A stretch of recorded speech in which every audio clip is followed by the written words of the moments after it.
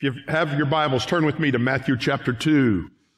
Last week we covered chapter 1 and uh, happened, uh, you know, we, we didn't read all those names there is how we got through a whole chapter.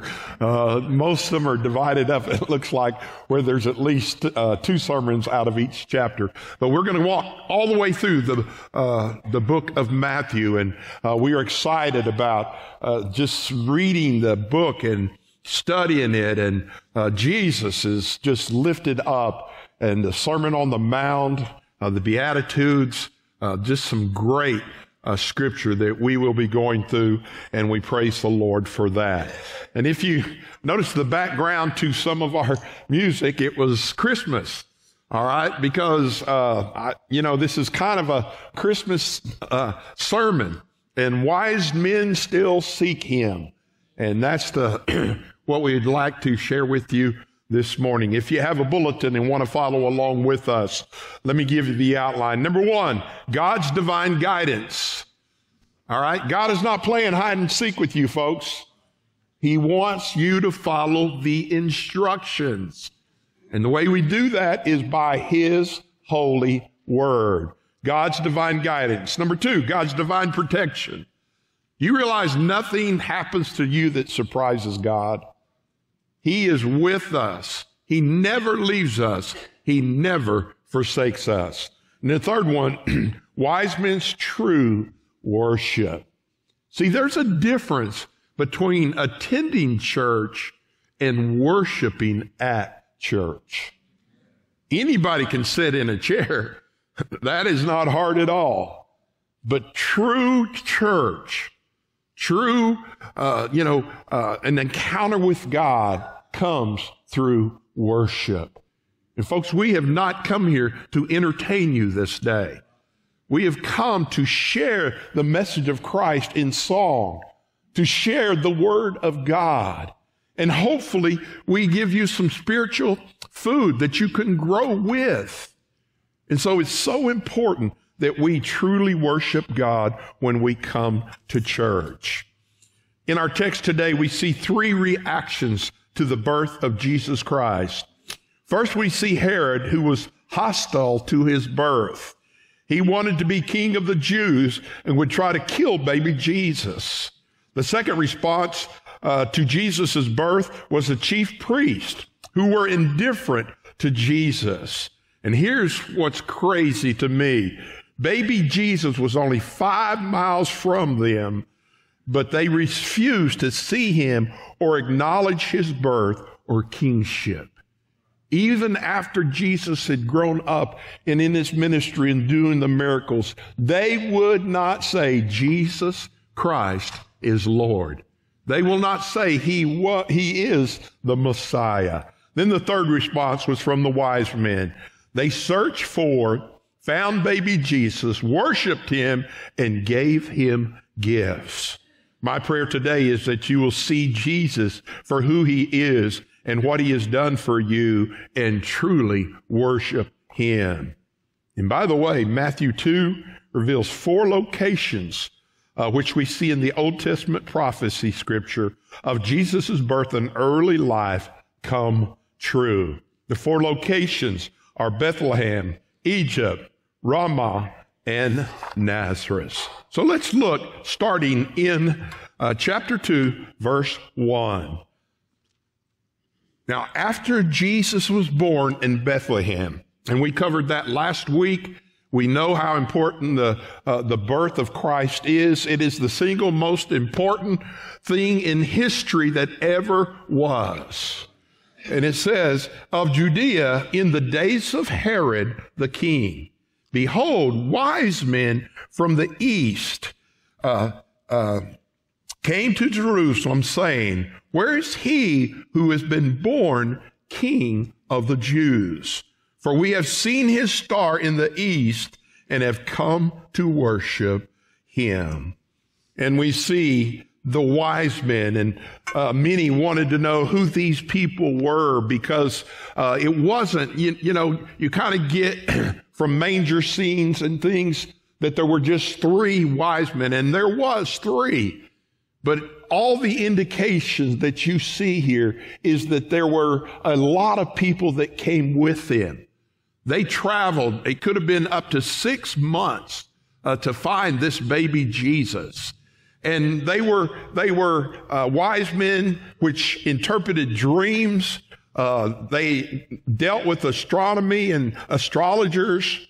Uh, they were scholars. They were well educated.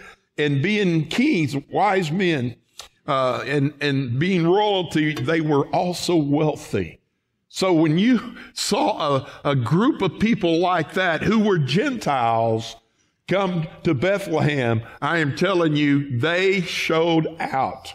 There was no doubt uh, that they were different from everyone else there. And here it says they came from the east, which I believe is Babylon uh, in the Orient, and they came to Jerusalem and they were looking. And my question is, how did they know Jesus was going to be born? Well, one is God obviously told him that, but I believe also uh, there's there's ways that God gets a hold of us. Right now, He does it through the Holy Spirit. Okay, the Holy Spirit tells us where we should go, what we should do, what we what we should say. So we have the Holy Spirit, which we received in Acts chapter two, and here it is saying that these these guys, they, they had that feeling, they had that urge, they had that knowing something is going on, and they listened to God and they followed the instructions that God have given them. Hold your finger there and go to Exodus with me. Exodus 13. Exodus 13, verse 17. We are talking about uh, the, the children of Israel just leaving Egypt. And it came to pass when Pharaoh had let the people go that God did not lead them by the way of the land of the Philistines, although it was near. For God said, lest perhaps the people change their minds when they see war and return to Egypt. Folks, God's way is better than our way. And when He gives us directions, we need to follow them. We don't need to help him adjust any plans. And it looked logically like this doesn't make sense. But I am telling you, God is trying to keep us from roadblocks and things uh, that are not of God. So God led the people around by the way of the wilderness of the Red Sea. And we know one reason uh, that he did that uh, was because he was going to destroy Pharaoh and, and his armies. And the children of Israel went up in orderly uh, ranks out of the land of Egypt. And Moses took the bones of Joseph with him, and he had placed the children of Israel under solemn oath, saying, God will surely visit you, and you shall carry up my bones from here with you. So they took their journey from Succoth and encamped in Etham, the edge of the wilderness. And here's what I wanted you to see. And the Lord went before them day, by day in a pillar of cloud to lead the way, and by night in a pillar of fire to give them light. So even God's chosen people early in the Old Testament, God had a way of connecting with them, and it was, it was a pillar of fire uh, by night and a, a cloud in the daytime. In verse 22, and he did not take away the pillar of cloud by day or the pillar of cloud by night from before the people.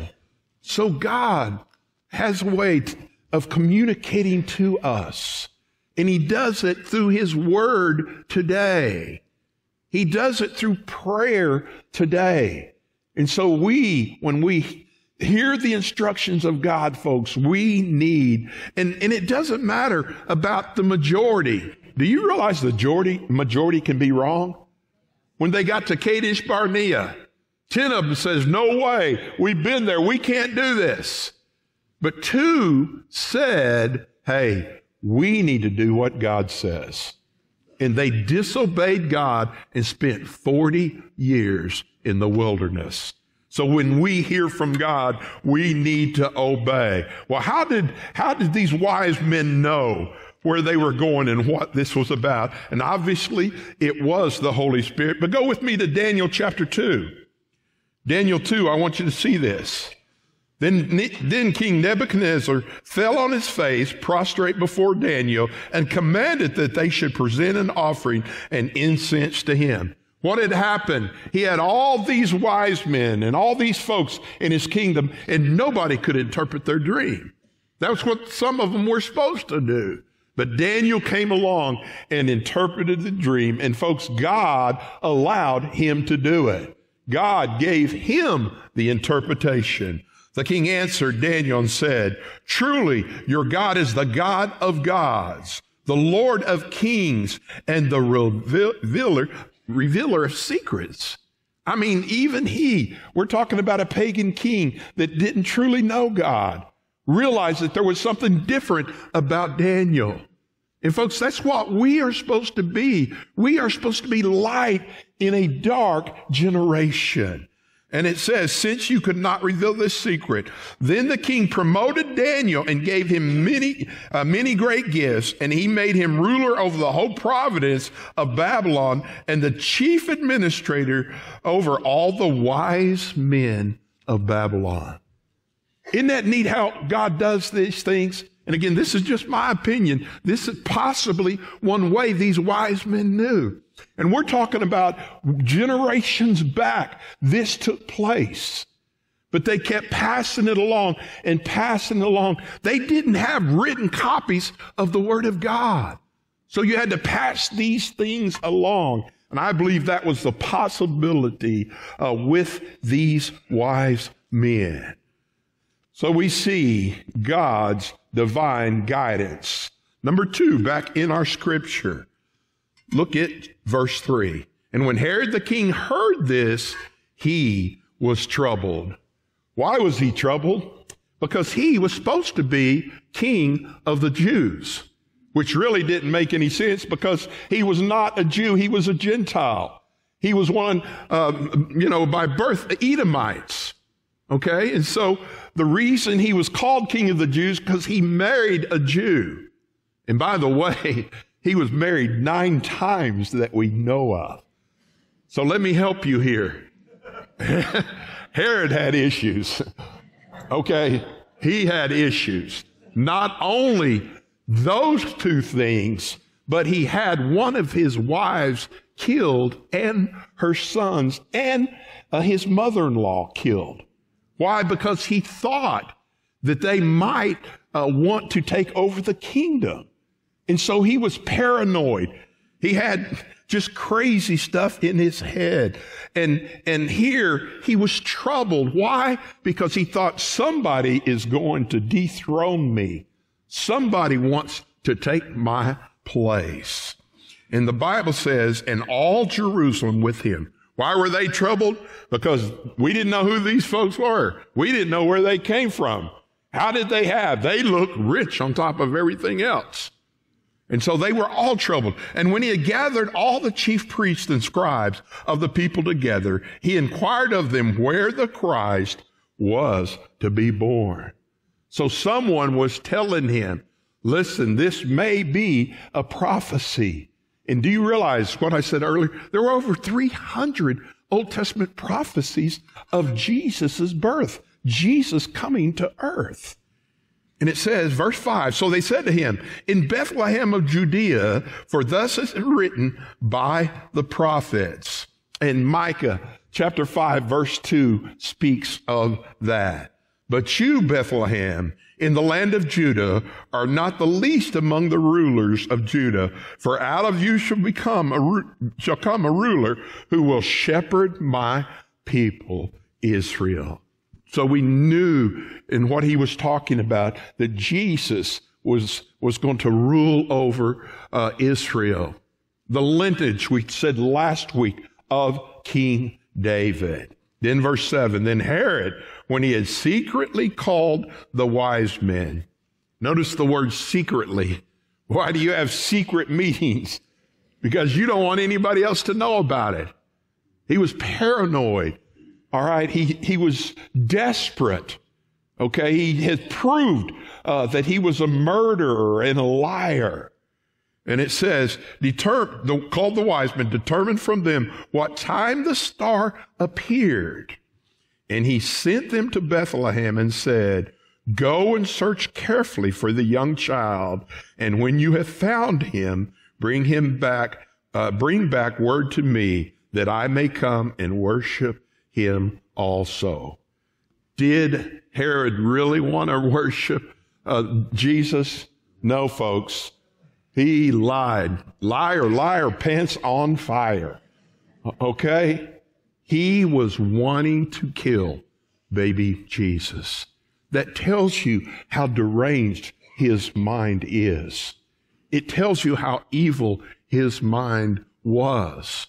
And so he was, Jesus was a threat and he was going to uh, try to talk these wise men in. You go find them and you let me know where they are. Well, I don't know if you've thought about this before, but I have several times. Was the star being able to, was it a, able to be seen by everyone? Think about that. I believe when it was over the manger, they could not see it. Just the wise men could see it. And you ask me, Mike, why do you say that?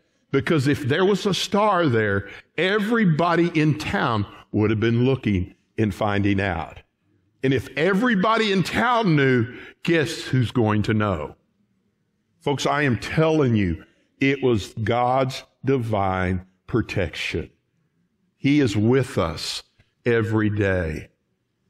He is, he is our rock. He is our shelter. He is our hiding place. And I'm telling you, uh, you know, he, he was taking care of baby Jesus. Look at uh, Psalm 27 with me, if you would. Psalm 27. Psalm 27. This is a psalm of David. And this is so encouraging, folks. The Lord is my light and my salvation.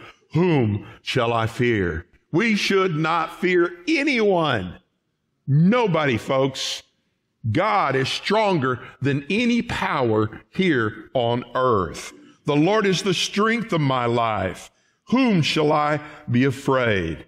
And the problem is, even the verse, one of my favorite verses, I can do all things through Christ who strengthens me. What we do first is we try to do everything ourselves. And then when it doesn't work out or we're in a jam, we start praying. Can I suggest that you start praying first? Can I suggest that you quit praying long enough to hear the answer from God? Folks, people give up on situations too quick because we're impatient. If God doesn't answer that prayer right away, we say it wasn't the will of God. If He doesn't answer it right away, we look for other ways to do it. If folks, God wants to be so in tune with you and you with Him that you know what He's thinking that you know in your heart of hearts, this is what I need to do. And people make it hard. Uh, you know, a question I get asked all t- the time. How, you know, how can you know the will of God in your life? Well, you better be praying. You better be reading your Bible. You better be asking for wisdom. What is the wisdom book? Proverbs. Folks, God speaks through His word. Verse 2 And when the wicked came up against me to eat my flesh, my enemies and foes, they stumbled and they fell. Though an army may camp against me. Ask Elijah about that army that came around. And his servant looked around and said, Oh man, we're dead. we are dead. And Elijah comes out of his tent and says, Oh, I'm not worried about this. And folks, God blinded the enemy. Blinded them. Folks, I am telling you, God is powerful. His word is true. There's no such thing as an impossible situation. Though an army may encamp against me, my heart shall not fear. Though war may rise up against me, in this I will be confident. One thing I have desired of the Lord that I will seek, that I may dwell in the house of the Lord all the days of my life. What does God call, what does God call your body? A temple of the Holy Spirit. Now, folks, the answer's inside of us. It's inside of us. We have the Holy Spirit to help us. And folks, we need to turn to God in all situations of life before things fall apart. To be, to all the days of our life, to behold beauty uh, of the Lord and to inquire in his temple. For in the time of trouble, he shall hide me in his pavilion and in the secret place of his tabernacle. Folks, in the Old Testament, it was the Shekinah glory of God that was uh, between the mercy seat. It was in the Holy of Holies. But now we are the temple of God. We can go to God anytime we choose. And folks, we need to spend more time with God. And he shall hide me and he shall set me high upon a rock. So we see God's divine guidance. We see God's divine protection.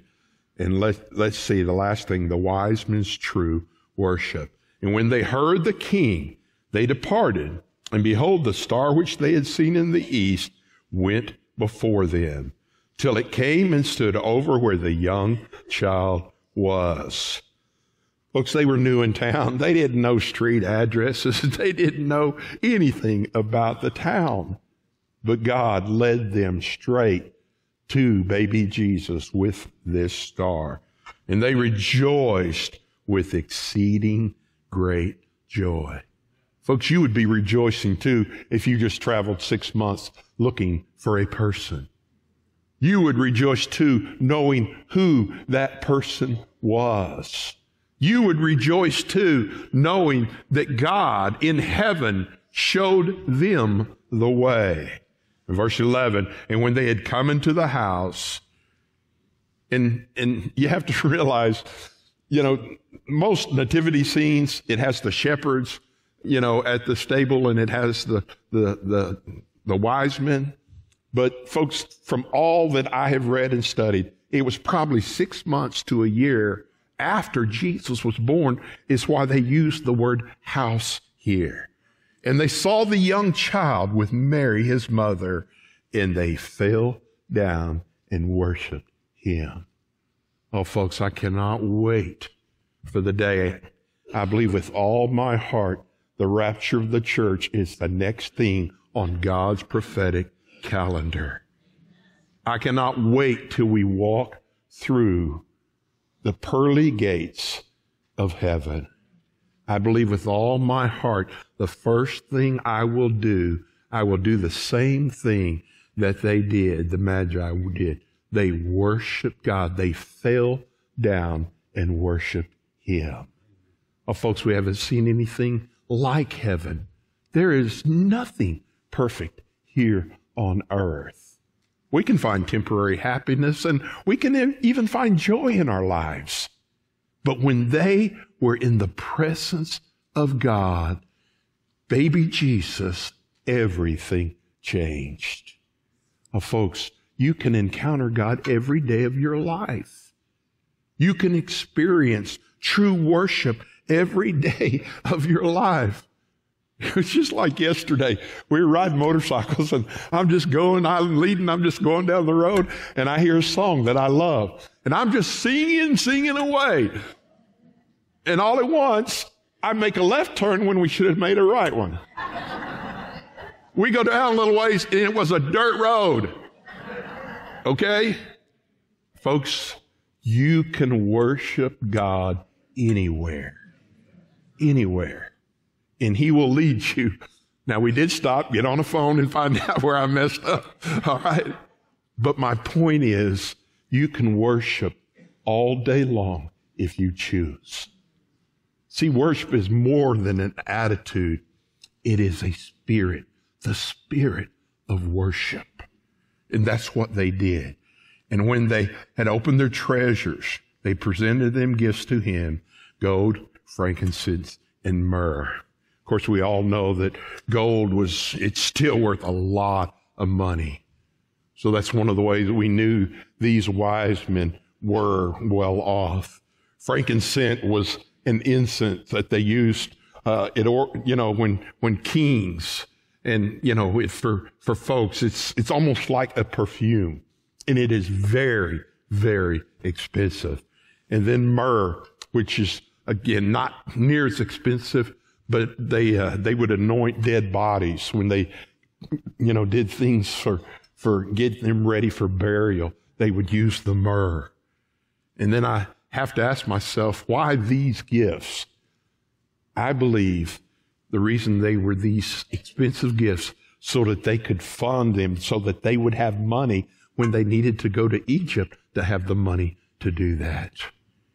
And folks, I'm telling you, do you know the best gift that you can give God? The best gift you can give God is your life. It's your life. See, God's not looking for part-time Christians. He's looking for full-time Christians.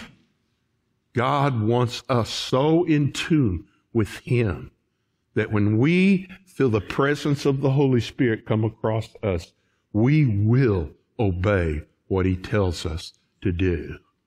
The number one reason people do not witness to others is fear. Do you know where fear comes from? Our Bible says fear comes from Satan. Folks, you can't mess it up. If the Holy Spirit is inside of you and God told you, you need to go talk to that person. That's what he's talking about. We need, we need to worship God here in this place. And I love our worship services. But it's made to get us fired up so that we can go out and do the work of God. The number one thing a church, the number one thing a church needs in their life is evangelism. Jesus came to save the lost. And we need to tell everyone about Jesus. Do you think these wise men just kept it to themselves? I don't think so, folks. Now look at verse 12. Then being divinely warned in a dream that they should not return to Herod, they departed for their own country another way. There's another, another deal. God speaking to them. Hey, don't go back that way. Don't even talk to King Herod. You take the long way home. And I'm telling you, you talk about a journey. Can you imagine the first conversation the night that they left? Just sitting around a campfire, just thinking, that was crazy. That was great. Well, folks, I cannot wait to get to heaven. Psalm 145. Psalm 145, and I close. Psalm 145. I will extol you, my God, O King, and I will bless your name forever and ever. Oh, folks, you can have church every day of your life. Spend time in the Word. Spend time in prayer. Listen to Christian music.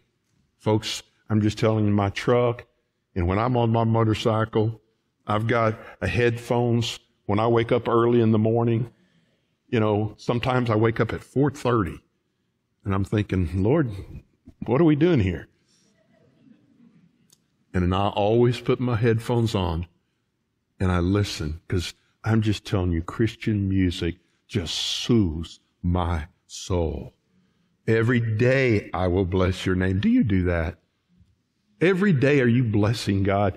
Every day are you thanking God? You're breathing. You got up today. You could drive to church today. There's so many things that we take for granted, folks. Every day I will bless you and praise your name. Great is the Lord and greatly to be praised, and his greatness is unsearchable. Oh, folks, wise men still seek him. folks, we get, we get distracted. Satan throws these darts and these arrows at us.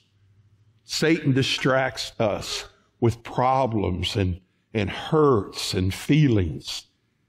But folks, we have to get to where we put those out of our mind and we truly worship God for who He is. If you're here today and don't know Jesus Christ as your personal Lord and Savior, folks, I am telling you, it is the greatest decision you'll ever make in your life. God seeks you. God wants you to go to heaven, but it's up to you, folks. He's not going to make you go. And my prayer is if there's one here today that doesn't know you, today would be their day of salvation. And Christian, do you worship just on Sundays? Folks, we need to worship every day of our lives. We need that worship to spill over to boldness, to sharing the gospel and inviting people.